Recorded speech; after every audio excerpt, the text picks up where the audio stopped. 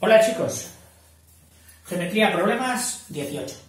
Una viña trapecial mide 0,364 milésimas de hectómetros cuadrados y sus bases son de 80 metros y 60 metros. ¿Cuál es la altura de este trapecio?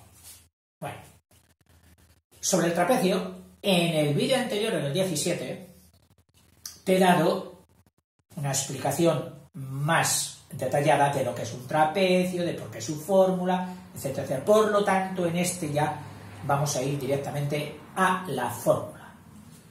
La fórmula de la superficie de un trapecio es base mayor más base menor partido por 2 y multiplicado por la altura. Aquí, en esta igualdad, creo que sabemos todos los valores menos 1, menos h, que es el que nos pregunta. Por lo tanto, sustituimos y decimos superficie 0,364 hectómetros cuadrados igual a base mayor 80 metros metros lineales más 60 metros lineales partido por 2 y multiplicado por la altura. ¿eh?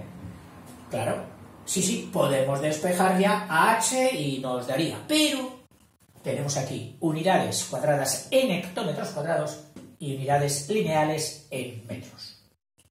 Por lo tanto, vamos a pasar estos hectómetros cuadrados a metros cuadrados para que por lo menos tengamos metros y metros, aunque estos sean cuadrados y estos sean lineales. Estos son lineales porque luego cuando se multipliquen por estos otros lineales van a dar los cuadrados. Te recuerdo que en las superficies cuadradas, que eran aquellas que tenían sus vías partidas en dos, como las autopistas, si aquí estaba el metro cuadrado, aquí estaba el decámetro cuadrado y aquí estaba el hectómetro cuadrado. Este hectómetro cuadrado lo voy a colocar, la coma, esta coma, en la coma de hectómetros cuadrados que viene por aquí. Entonces yo primero coloco la coma, ya la digo, a la izquierda de la coma, el 0. A la derecha de la coma, un 3, un 6 y un 4, sin dejar huecos. Ya lo he colocado. Muy bien. Y dice, ¿que lo quieres en metros cuadrados? Sí, por favor. Entonces esta coma le dices, haz el favor de irte a los metros cuadrados que te llaman allí. Oiga, pero los números se mueven. No, los números no se mueven. Solo se mueve la coma, que se pone aquí. Oiga, aquí hay un sitio vacío. No, vacío no, porque siempre hay ceros por todos los lados, por aquí, por aquí, siempre hay ceros. Cero, cero, cero, cero. ¿Qué?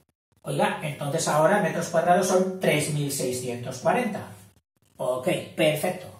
O sea que en vez de poner esto, pongo 3.640 metros cuadrados igual a 80 más 60, 140 entre 2, 70 por 70 metros lineales por H de metros lineales. Quito ya, ya que he visto que sí, que concuerda que metro por metro son metros cuadrados, lo quito para no obstaculizarme el manejo del álgebra, que manejamos con letras, ¿eh? si están por ahí las M's, podríamos cometer un error. Pero las presumimos, es decir, sabemos que están ahí. Ya le diremos, H está multiplicando a 70, pues el 70 viene a esta parte, 3640 entre 70 y eso será la altura 0 con 0 y esto 36 entre 7 es 5 queda 1 1 con el 4 14 entre 7 a 2 altura que 52 metros lineales ¿de acuerdo? que tratándose de una viña lo de altura es un decir, porque claro, la viña está colocada en un plano horizontal o inclinado, pero nunca en un plano vertical. ¿eh? Lo que pasa es que por la figura que hace, que es un trapecio, cometemos el error consabido, pero útil, de llamar también altura ¿eh? A la distancia que separa los dos lados paralelos. ¿Cómo sería la viña? Pues la viña puede ser así, puede ser así, o puede ser así. Porque lo importante es que este no sea paralelo con este. Y esta altura, esta distancia entre los lados paralelos, es lo que sería 52